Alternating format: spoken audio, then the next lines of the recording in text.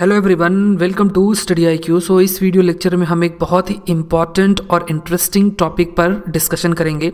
ये टॉपिक है rumbling Indonesia volcano could trigger more tsunamis जानने का प्रयास करेंगे कि सुनामी का क्या मतलब होता है और ये सुनामीज कैसे जनरेट हो रही हैं इंडोनेशिया के इस रीजन में। और जो एक्सपर्ट्स हैं, वो ऐसा बिलीव कर रहे हैं कि जो रंबलिंग हो रही है इंडोनेशिया के वॉल्कनोज में, वो फर्दर सुनामी कॉज कर सकता है।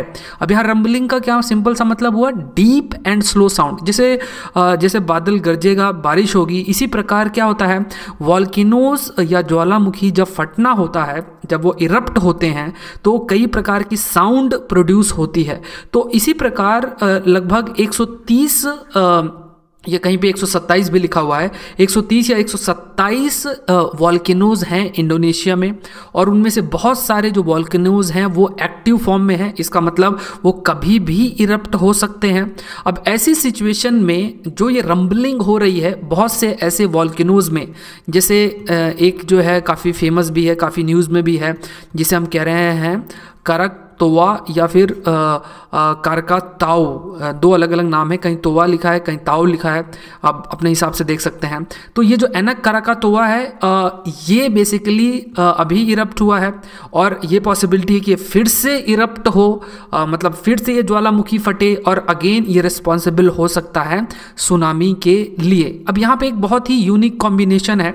यूनिक कॉम्बिनेशन इसलिए है कि सुनामी की जब आप बात करते हैं सुनामी का सिंपल सा आ, अगर मतलब देखें तो ये है कि पानी से रिलेटेड है। आगे डिस्कस करेंगे सुनामी का क्या मतलब हुआ। तो इन जनरल अगर हम बोलें तो ये पानी से रिलेटेड है। वहीं जब हम वॉल्किनो की बात करें तो ये आग से रिलेटेड है। तो यहाँ हम ये कह रहे हैं कि आग की वजह से पानी का लेवल बढ़ रहा है, जो कि काफ़ी एक यूनिक कॉम्बिनेशन है। ये जो यूनिक कॉम्बिनेशन है, इसी पर हम चर्चा करेंगे। और ये जो रंबलिंग इंडोनेशिया वॉल्किनोज हैं, और ये जो रंबलिंग हो रही है इंडोनेशिया के वॉल्किनोज में, ये किस प्रकार से सुनामी जनरेट कर सकते हैं, इस पर भी हम चर्चा करेंगे। So this video is presented by me my name Saurabh Pandey UPSC से रिलेटेड अगर आपकी कोई भी क्वेरी है तो आप मेरा फेसबुक पेज विज़िट कर सकते हैं। My I D Saurabh Pandey zero zero nine इस लेक्चर का पीपीटी भी आप मेरे फेसबुक पेज से डाउनलोड कर सकते हैं। अगर सुनामी से पहले का टाइम देखें क्योंकि कब सुनामी आनी है, ये थोड़ा मुश्किल होता है प्रिडिक्ट करना। अगर जैसे फॉर एग्जांपल कहीं अर्थक्वेक आया है, या भूकंप आया है तो हम कह सकते हैं कि अगेन सुनामी आ सकती है, लेकिन जैसे इस रीजन में जो समुद्र है, वो शांत है लोग घूम रहे हैं नाव में बैठे हुए हैं, उन्हें ये नहीं पता है कि सुनामी आ सकती है। लेकिन सडनली कुछ टाइम बाद अगर कुछ भी ऐसी एक्टिविटी होती है, जैसे बहुत बड़ी लैंड स्लाइड हो गई। अब यहाँ लैंड स्लाइड का मतलब ये नहीं कि पहाड़ में लैंड स्लाइड हो रही है और यहाँ समुद्र में सुनामी आ रही है। यहाँ लैंड स्लाइड ऐसे इलाके में, जहाँ पे समुद्र पास में ही है और जो लैंड स्लाइड का डेब्रिस है मतलब जो मलबा है, वो समुद्र में गिर रहा है तो ऐसी सिचुएशन में भी सुनामी आ सकती है या फिर अर्थक्वेक या भूकंप आ रहा है, तब भी सुनामी की पॉसिबिलिटी है। और या फिर जो वॉल्केनोज हैं मतलब जो ये ज्वालामुखी फटते हैं, तब भी सुनामी आ सकती है। तो सुनामी इन जनरल क्या है कि समुद्र, जो शांत सा समुद्र है, उसमें वेव्स जनरेट हो रही हैं। ये वेव्स इस प्रकार से जनरेट हो गई। तो ये जो वेव्स बड़ी जब हो जाती हैं तो ये सुनामी का रूप ले लेती हैं। इन सिंपल अगर देखें, जैसे फॉर एग्ज़ाम्पल ये समुद्र की एक सरफेस है और यहाँ पे इस सेंटर पे अर्थक्वेक अगर आया तो धीरे धीरे क्या होगा? वेव्स जो हैं वेव्स की जो हाइट है जैसे जैसे कोस्टल एरिया में आ, के पास जाएँगी तो जो वेव्स की जो हाइट है वो बढ़ती चली जाएगी। वहीं जो वेव लेंथ है जैसे ये वेव्स की हाइट होगी ये बढ़ती चली जाएगी। जैसे यहाँ तो बिल्कुल भी पता नहीं चलेगा अगर जैसे यहाँ अर्थक्वेक आया और यहाँ पर कोई नाव या शिप प्रेजेंट है उसे तो पता भी नहीं चलेगा कि यहाँ सुनामी है यहाँ सुनामी आई है। लेकिन धीरे धीरे जैसे जैसे ये जो वेव्स इस प्रकार मूव करेंगी धीरे धीरे उनकी जो वेव हाइट है वो बढ़ती चली जाएगी। वहीं जो वेव लेंथ है वेव लेंथ की जैसे बात करें, जैसे ये जो वेव लेंथ है, वो वेव लेंथ भी कम होती चली जाएगी। तो हाइट बढ़ रही है वेव लेंथ है, वो कम हो रही है। तो यहाँ पे इस जगह पे कोस्टल एरिया में पहुँच के ये हाइट काफ़ी बढ़ सकती है। दस मीटर, पंद्रह मीटर, बीस मीटर, तीस मीटर और भी बड़ी वेव्स जनरेट हो सकती हैं। और ये बहुत ज़्यादा डिस्ट्रक्शन कॉज कर सकती है। तो इन जनरल अगर हम सुनामी की बात करें तो ये क्या है? वेव्स ये हैं वेव्स जो कि यहाँ पे जनरेट हो रही कंटिन्यूस वेव्स जो जनरेट हो रही हैं। अब ये डिपेंड करता है, जैसे कई बार आपने सुना होगा होगा कि एक लहर आ गई, कुछ टाइम बाद दूसरी लहर आएगी। अब ये डिपेंड करता है कि जैसे एक वेव्स इस प्रकार से आई, दूसरी वेव्स यहाँ पे है तो ये जो टाइम पीरियड है, इतना टाइम के बाद जो दूसरी वेव्स आएगी और फिर वो डिस्ट्रक्शन कॉज करेगी। लेकिन ये थोड़ा श्योरिटी रहती है कि जो दूसरी वेव्स है, उसकी जो हाइट है मे बी वो थोड़ी कम हो। ये जो वेव की जो हाइट है वो कंपेरेटिवली कम हो। अब जितनी ज़्यादा हाइट होगी, उतना ज़्यादा डिस्ट्रक्शन होगा। अब समझते हैं कि ये सुनामी कॉज क्यों होती है या कैसे कॉज होती है? जो कि अभी इंडोनेशिया में भी कॉज हुई है। तो इसके लिए एक छोटा सा एक्सपेरिमेंट करेंगे। और इस एक्सपेरिमेंट को करने के लिए जो बात हमें ध्यान रखनी है कि जैसे ये बकेट है तो इस बकेट में आप इतना तेज़ी से पैर नहीं मारेंगे कि वो बकेट गिर जाए। बकेट में पानी आपने भरा, इस प्रकार से पानी भरा। और ये इस प्रकार से पानी इसमें रखा हुआ है। अब क्या है? ये समझने के लिए कि सुनामी क्या है? या सुनामी किस प्रकार से जनरेट होती है? तो आप सिंपल सा क्या करें? एक छोटा सा, बहुत बड़ा नहीं, एक छोटा सा पत्थर डाल दें इस पानी में। तो क्या होगा? छोटी छोटी जो इस प्रकार सी वेव्स जनरेट होंगी।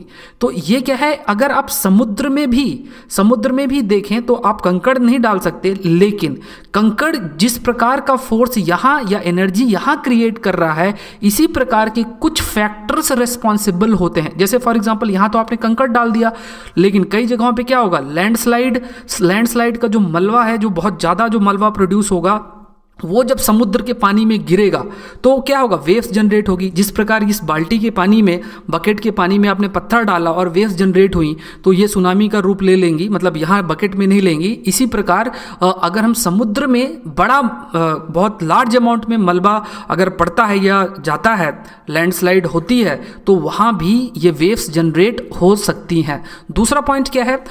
दूसरा जो एक फोर्स है जो जनरेट हो सकता है, जो कि रिस्पॉन्सिबल हो सकता है सुनामी के लिए आप धीरे से एक बार पैर मारिए इस बाल्टी पे। अगेन ध्यान रखना है बहुत तेज़ी से नहीं मारना नहीं तो ये बाल्टी का पानी गिर जाएगा तो ये एक्सपेरिमेंट फेल हो जाएगा।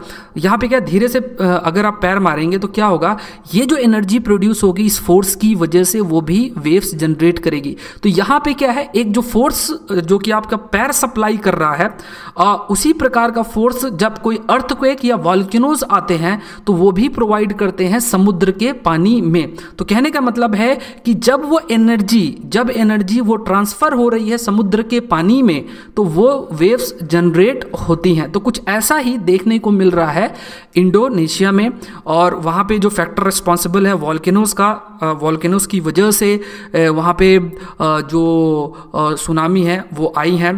तो ये बहुत यूनिक कॉम्बिनेशन है कि वॉल्केनोस की वजह से मतलब वॉल्केनो मतलब आग की वजह से हम कहें कि पानी का लेवल बढ़ रहा है या वेव्स जनरेट हो रही हैं, जिसकी वजह से डिस्ट्रक्शन कॉज हो रहा है अब इंडोनेशिया में जो ये प्रिडिक्टेड है कि सुनामी क्यों आ रही है या क्यों आ सकती है, अभी हाल ही में सुनामी वहाँ पे आई, उससे काफ़ी लोगों की डेथ भी हुई। अब ये भी प्रिडिक्ट किया जा रहा है कि दोबारा से वहाँ पे सुनामी आएगी। अब ऐसा क्यों हो रहा है कि कंटिन्यूसली वहाँ सुनामी सुनामी के आने की काफ़ी ज़्यादा चांसेस होते हैं। तो इसके लिए हमें थोड़ा सा एक कंसेप्ट समझना होगा।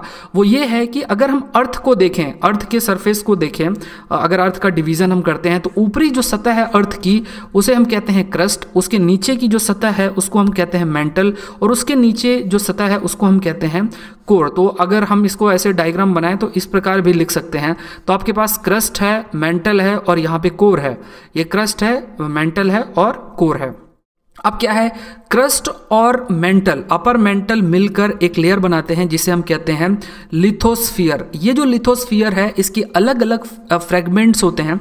जैसे अगर ये लिथोस्फियर है, जो कि अर्थ की ऊपरी सतह है तो ये जो लिथोस्फियर है, इसका अलग अलग डिवीज़न होता है। तो इन डिवीजन्स को हम कहते हैं प्लेट्स अब ये जो प्लेट्स हैं, इनका कंटिन्यूसली मूवमेंट होता रहता है। जैसे फॉर एग्जांपल अलग अलग प्लेट्स हैं। पैसिफिक प्लेट है नस्का प्लेट है साउथ अमेरिकन प्लेट है नॉर्थ अमेरिकन प्लेट है अफ्रीकन प्लेट है। बहुत सारी जो प्लेट्स हैं, है ना? तो ये जो प्लेट्स हैं, इनका कंटिन्यूसली मूवमेंट होता चला जाता है।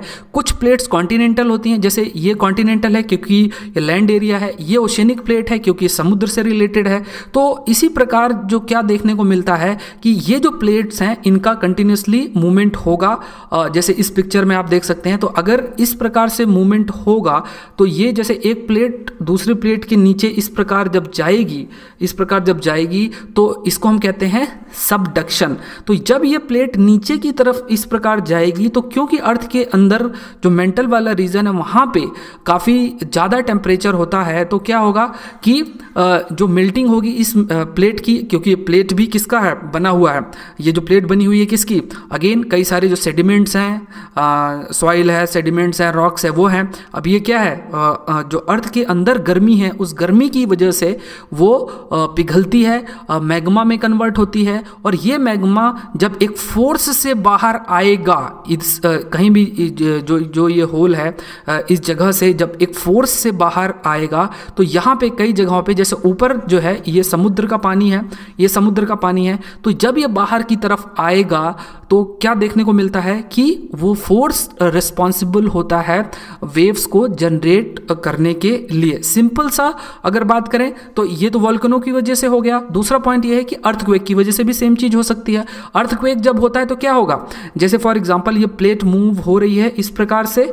अब ये ये जो प्लेट का मूवमेंट है, ये स्टक हो गया और स्टक होने के बाद कुछ टाइम बाद जब रिलीज़ होता है, जब ये मूवमेंट रिलीज़ होगा, जैसे आपने इलास्टिक को खींचा खींचा एक एक लेंथ तक उसे आप खींच सकते हैं इलास्टिक को, लेकिन जैसे उसको आपने छोड़ा तो क्या होगा? एकदम से डिस्टर्बेंस कॉज होगा।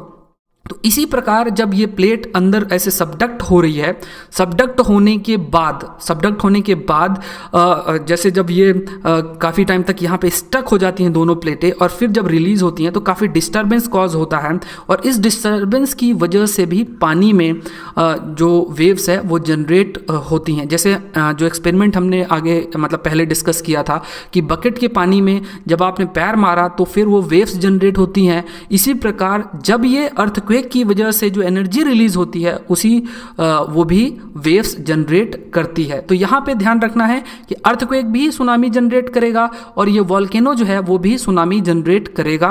और बात करें अगर इंडोनेशिया की, जो कि कहने में भी आ रहा है कि इंडोनेशिया में अभी जो सुनामी आई थी और फिर सुनामी आएगी, वो इसका रीज़न सबसे बड़ा ये है कि इंडोनेशिया की अगर जियोलॉजी को अगर देखें तो अलग अलग प्लेट्स है। फिलीपींस प्लेट है, पैसिफिक प्लेट है, यूरेशियन प्लेट है, ऑस्ट्रेलियन प्लेट है। अब क्या देखने को मिल रहा है कि ये जो ऑस्ट्रेलियन प्लेट है, वो सबडक्ट हो रही है यूरेशियन प्लेट के अंदर। जिस प्रकार से, जैसे ये ऑस्ट्रेलियन प्लेट है, ये सबडक्ट हो रही है यूरेशियन प्लेट के अंदर और इसी वजह से, इसी वजह से वहाँ पे कई सारे एक्टिव वॉल्केनोस का फॉर्मेशन होता है। जैसे क्रकाटाओ एक एक्टिव वॉल्केनो है, यहाँ पे था क्रकाटाओ और 1927 या 28 में क्या हुआ, वहाँ पे इरप्शन हुआ और इरप्शन के बाद एक दूसरा वॉल्केनो का फॉर्मेशन हुआ, जिसका नाम है आना क्रकाटोवा जैसे एक एग्ज़ाम्पल देखते हैं। एग्ज़ाम्पल इसी पिक्चर के थ्रू ही समझते हैं। जैसे फॉर एग्ज़ाम्पल क्या हुआ कि ये इस प्रकार से सबडक्शन हो रहा है। ऑस्ट्रेलियन प्लेट का यूरेशियन प्लेट के अंदर सबडक्शन हो रहा है। ये जो क्रकाटाव है, वो इसी सबडक्शन जोन के ऊपर ही लोकेटेड है। यहाँ पास में लोकेटेड है। अब क्या है? क्योंकि सबडक्शन कंटिन्यूसली हो रहा है तो उसके नीचे मैग्मा का फॉर्मेशन होगा। मैग्मा का फॉर्मेशन होगा तो जब ज़्यादा मैग्मा का फॉर्मेशन होगा तो फोर्स के साथ जो मैग्मा है वो बाहर को निकलेगा और इरप्शन होगा।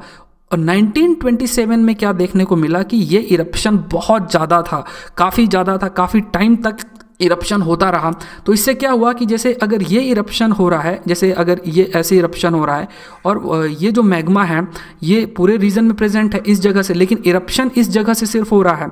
अब क्या होगा कि धीरे धीरे इरप्शन इतना ज़्यादा हो गया कि आसपास का जो ये इलाका है, ये जो एरिया है यहाँ पे यहाँ पे ये जो क्रस्ट है, जो ऊपरी सतह है, वो पूरी तरीके से टूट गई। नीचे से कोई सपोर्ट नहीं रहा, और वो टूट गई तो यहाँ क्या होगा, एक दूसरे वॉल्केनो का फॉर्मेशन हो गया। तो मतलब इरप्शन यहाँ हो रहा है, लेकिन एक छोटे छोटे जो वॉल्किनो है, उसका फॉर्मेशन हो गया पास में ही क्रकाटाओ के। तो उसका जो नाम रखा गया वो है अनाक क्रकाटाओ या क्रकाटोआ तो ये अनाक क्रकाटाओ या टोआ ये रेस्पॉन्सिबल है जो अभी फ़िलहाल इंडोनेशिया में सुनामी आई है। और यहाँ पे भी रंबलिंग हो रही है साउंड्स अभी भी प्रोड्यूस हो रही हैं तो ये अनुमान है कि दोबारा से इसका इरप्शन हो और ये दोबारा से सुनामी कॉज कर सकता है। तो यहाँ जो ध्यान देने वाली बात यह है कि यहाँ जो वॉल्केनिक इरप्शन हुआ है अनाक्रकाताओ में, वो रिस्पॉन्सिबल था इस बार के जो सुनामी आई है इंडोनेशिया वाले रीजन में। तो ये ध्यान रखना है। अब दूसरा पॉइंट ये है कि ये जो इंडोनेशिया का रीजन है, ये पार्ट है रिंग ऑफ़ फायर्स का। मतलब यहाँ पे इतने सारे वॉल्कनोज लोकेटेड है। क्यों लोकेटेड है? जैसे हमने पहले देखा कि बहुत सारी जो टेक्टोनिक प्लेट्स हैं, वो आपस में यहाँ पे जुड़ी हुई हैं। उनका कंटिन्यूस मूवमेंट हो रहा है। एक प्लेट दूसरे प्लेट के अंदर सबडक्ट हो रही है। इसलिए बहुत सारे वॉल्केनोज का फॉर्मेशन हो रहा है। लगभग एक सौ सत्ताईस से एक सौ तीस के आसपास यहाँ पे वॉल्केनोज हैं। अनाक्रकाटाओ या टोवा जो है, उनमें से एक है जो कि अभी इरप्ट किया और उसने फिर जो सुनामी है उसको कॉज किया। अब ये समझते हैं कि ये जो वॉल्केनो है, ये किस प्रकार से जो सुनामी है, वो कॉज उसने किया। अब कई सारे उसमें थ्योरी दी गई हैं, लेकिन जो पॉसिबिलिटी है उसको थोड़ा सा डिस्कस करते हैं कि अनक ताओ का जब इरप्शन हुआ तो उसने किस प्रकार से सुनामी जनरेट किया।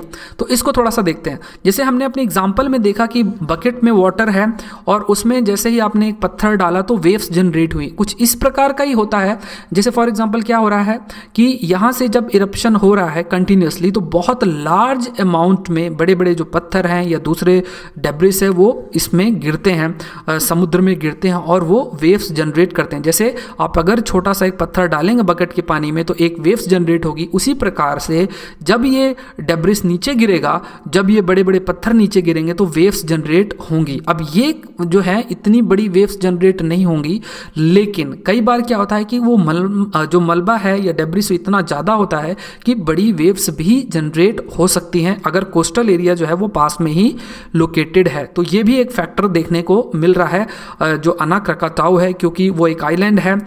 ये एक एक टर्म यूज़ होता है, जो कि अगेन काफ़ी उसको एक्सप्लेन करना पड़ेगा, जिसे हम कहते हैं कालडेरा वो कालडेरा है एना क्रकाटोवा एक कालडेरा है। कालडेरा का सिंपल सा मतलब हम समझें कि जो एक डिप्रेशन क्रिएट होता है वॉल्केनिक इरप्शन के बाद। तो वो अना क्रकाटोवा एक कालजेरा है। तो वो एक आइलैंड भी है और कालजेरा भी है। तो कहने का ये मतलब है कि जब वहाँ पे इरप्शन हुआ डेब्रिस काफ़ी सारा गिरा आ, समुद्र में और उस वजह से भी जो वेव्स हैं वो जनरेट हुई। तो एक तो ये थ्योरी दी जा रही है। दूसरा ये है कि जब वॉल्केनिक इरप्शन होता है तो काफ़ी सारा फोर्स जनरेट होगा। तो वो जो फोर्स जनरेट होता है वो भी रिस्पॉन्सिबल होता है वेव्स के जनरेट होने के लिए सुनामी जो कि आगे चल के सुनामी भी कॉज हो जाएगा। एक बार वेव्स जनरेट हुई तो जैसे जैसे कोस्टल एरिया में जाएँगी तो इनकी जो वेव हाइट है, वो बढ़ती चली जाएगी वेव्स बढ़ती चली जाएँगी, और इस वजह से काफ़ी सारा डिस्ट्रक्शन हो सकता है। दूसरा अगर पॉइंट देखें इस पिक्चर में ज़्यादा क्लियर है कि ये जो डेब्रिस है अगेन ये जैसे ये प्लेन सा एक वाटर बॉडी है, ये समुद्र है, और यहाँ पे जो डेब्रिस काफ़ी सारा जनरेट होता है, और ये जब समुद्र के पानी में जाएगा तो फिर अगेन क्या होगी? वेव्स जनरेट होंगी। तो जब ये वेव्स जनरेट होंगी तो जब कोस्टल एरिया में जाएँगी तो अगेन इसकी जो हाइट है, वो बढ़ेगी। तो कहने का ये मतलब है कि ये बहुत बड़ा फैक्टर है। इन जनरल रिलेटेड क्या होता है कि हमें सुनने में आएगा, जैसे अर्थक्वेक होगी। अर्थक्वेक जब होगा तो फिर सुनामी सुनामी आती है। लेकिन यहाँ पे वॉल्केनिक इरप्शन की वजह से सुनामी आई है। तो जो जो फैक्टर्स हैं, जो अभी हमने डिस्कस किया, उनकी वजह से ही ये सुनामी आई है इंडोनेशिया में। और ये भी पॉसिबिलिटी है। कि फ्यूचर में भी, क्योंकि रंबलिंग जो इंडोनेशिया वॉल्किनोज हैं, उनकी रंबलिंग अभी भी हो रही है। तो ये एक्सपर्ट्स कह रहे हैं कि फ्यूचर में भी जो है सुनामी आ सकती है। सो अगर आप यूपीएससी की तैयारी कर रहे हैं तो अगेन ये टॉपिक जीएस पेपर वन के लिए बहुत इंपॉर्टेंट है। सेक्शन जोग्राफी के अंदर कई सारे प्रश्न बन सकते हैं। सो आई होप ये वीडियो लेक्चर आपके लिए हेल्पफुल होगा। Thank you for watching the video